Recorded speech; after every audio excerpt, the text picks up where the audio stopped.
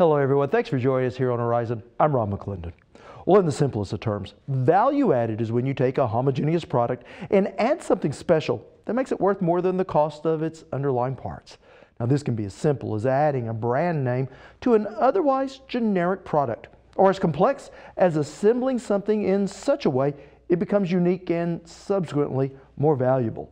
Nowhere is value added more profitable than in the food industry, where the cost of raw commodities often just make up pennies of the actual purchase price of the end products. Our Austin Moore starts us off with a look at the value of adding value in Krebs, Oklahoma.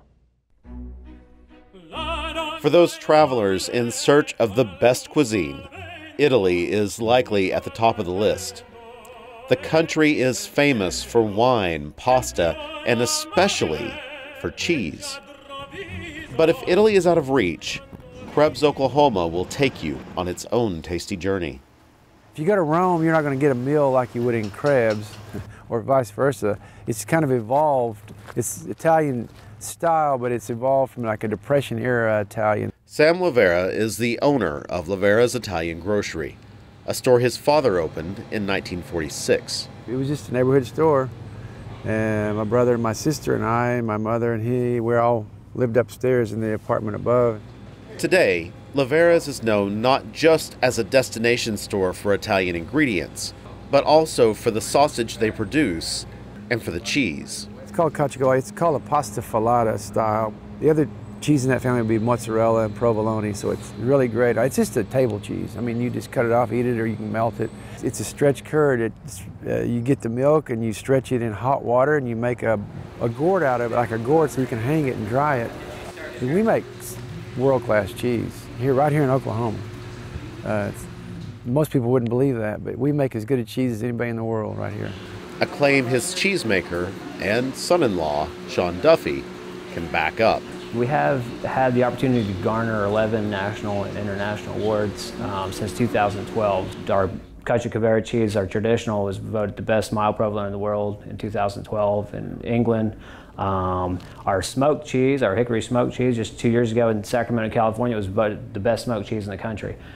Of course, the story's not really about the cheese. Not really. It's about the jobs.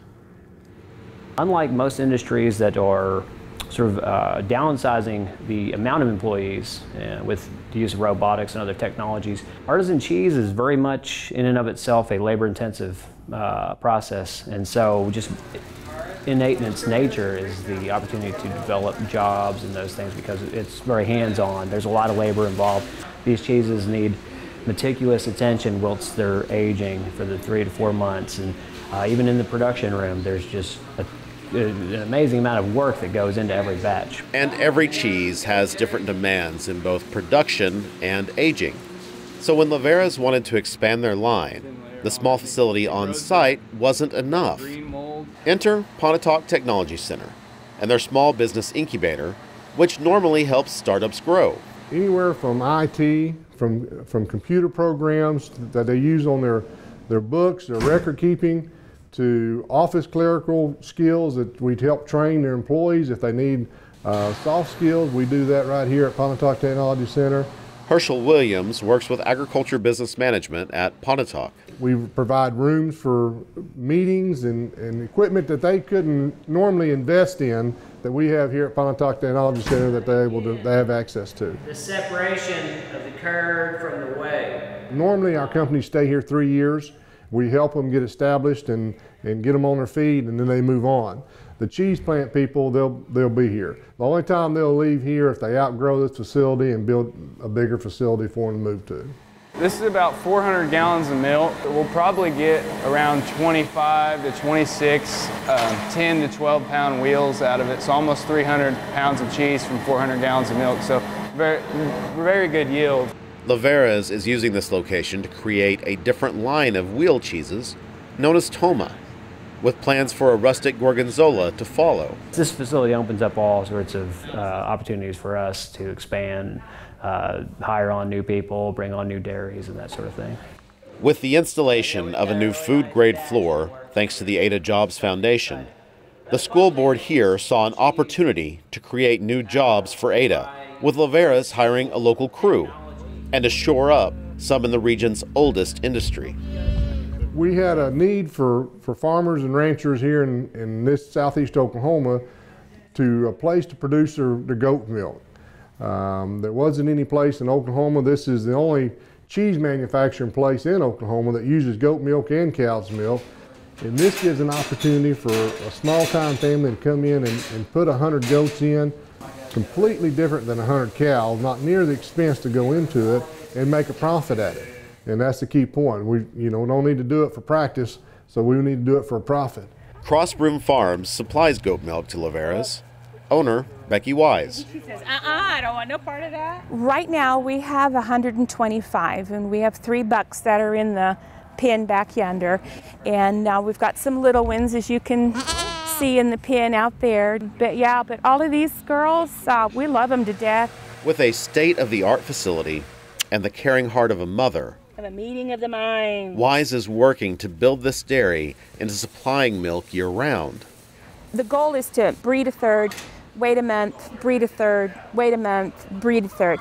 That way you've always got a cycle going. And then eventually everybody will be online and then you start the, the process all over. For Wise, there was no greater thrill than the first time she saw what Duffy and his team were creating.